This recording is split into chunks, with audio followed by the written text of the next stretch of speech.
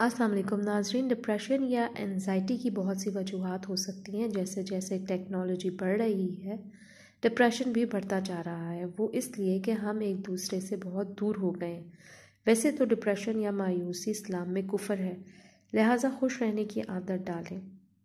आज के वीडियो में मैं आपको डिप्रेशन या एनजाइटी से दूर रहने के दस ऐसे इजी पॉइंट्स बताऊँगी, जिन पर अमल करके आप इंशाल्लाह एनजाइटी या डिप्रेशन से ज़रूर निजात पा सकते हैं। सबसे पहले ये है कि आप फ़ौरन से डीप ब्रीथ लें। अपनी नाक के ज़रिए पाँच सेकंड तक इनहेल करें और फिर पाँच सेकंड के बाद मुँह से एक्सेल करें। इस प्रोसेस को आपने तकरीबन चंद मिनट करना होगा, इसके बाद आपकी तबीयत बेहतर होना शुरू हो जाएगी। लंबी ब्रीथ इस तरह से लेने से आपके जिसम में ऑक्सीजन की कमी पूरी होती है। लंग्स प्रॉपर काम करना शुरू कर देते हैं और डिप्रेशन में कमी वाक़ होती है। जैसे ही आपको लगे कि डिप्रेशन हो रहा है, इनहेल और एक्सेल, एक्सरसाइज शुरू कर दें। नंबर टू ये है कि रिलैक्स योर मसल्स, यानी आप अपने मसल्स को रिलैक्स कर लें, अपने बॉडी पार्ट्स को आराम दें। सबसे बेहतरीन तरीका ये है कि अगर आपको एनजाइटी फील हो रही है तो कुर्सी पर बैठ जाएँ इत्मीनान से। इसके अलावा कुछ लोग अपने हाथों को कंट्रोल में नहीं रखते, यानी कन्फ्यूज़न की वजह से या परेशानी की वजह से हाथ हिलाते रहते हैं। हाथों को बिल्कुल आराम से छोड़ दें और परेशान होने की बजाय अपने बॉडी पार्ट्स को रिलैक्स करें।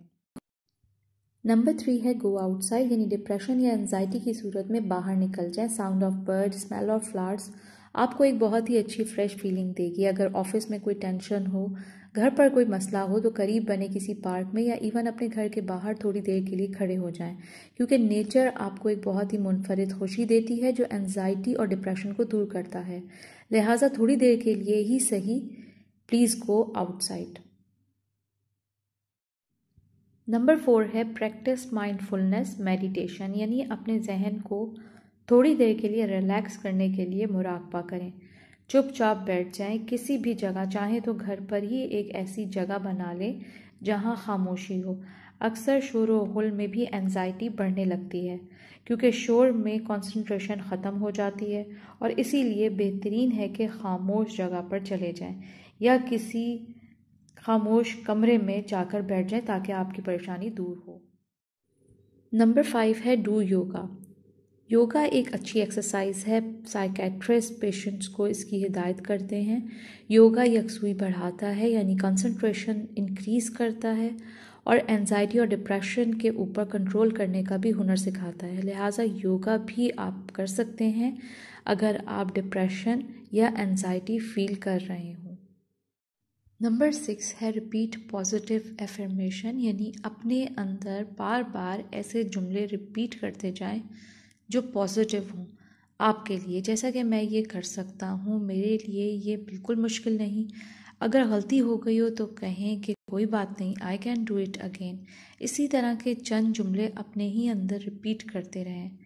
I am not alone I am brave ताकि आप पर डिप्रेशन तारी ना हो सके और आप रिलैक्स रहें।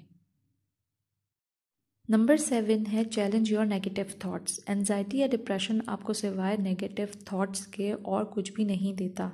इन थॉट्स को, इन सोचों को आपने चैलेंज करना है और चैलेंज एक्सेप्ट करते हुए डिप्रेशन से बाहर आना है, ताकि ये सब नेगेटिव थॉट्स आपका कुछ नहीं बिगाड़ सकें। नंबर एट है इंगेज योर सेंसेस यानी सेंसरी अवेयरनेस हिस्सों की एक्सरसाइज भी बेहतरीन नेचुरल रेमेडी है। एनजाइटी को दूर करने के लिए। इस टेक्निक में five four three two one का फॉर्मूला आता है, यानी पाँच ऐसी चीज़ें जो आप देख सकते हो।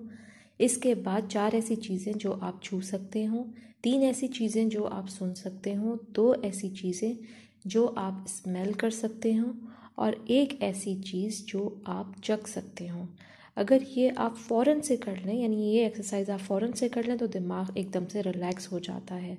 इस five four three two one technique पर बहुत से लोग काम करके एनजाइटी से बाहर आ चुके हैं।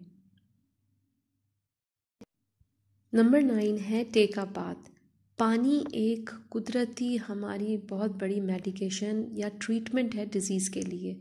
एनजाइटी या डिप्रेशन की सूरत में फ़ौरन से आप बात ले लें। ये एक तरह से डिक्रीज़ करता है एनजाइटी हार्मोन्स को और बॉडी एकदम से रिलैक्स फील करने लगती है।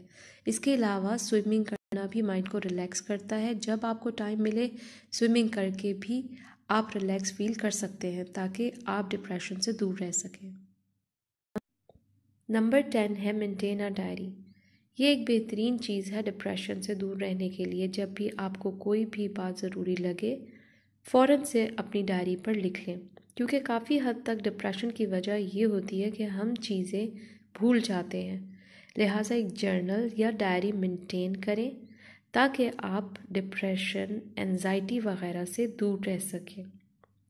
नाजरीन, ये वो टेन पॉइंट्स हैं जिन पर अमल करके हम एनजाइटी या डिप्रेशन से दूर रह सकते हैं और हँसी खुशी ज़िंदगी गुजार सकते हैं। उम्मीद करती हूँ आज की वीडियो आपको ज़रूर पसंद आई होगी। वीडियो लाइक और शेयर ज़रूर करें। मज़ीद मालूम के लिए प्लीज़ चैनल सब्सक्राइब करें और बेल आइकन पर भी ज़रूर क्लिक करें। अपना बहुत ख्याल रखें। अल्लाह हाफिज़।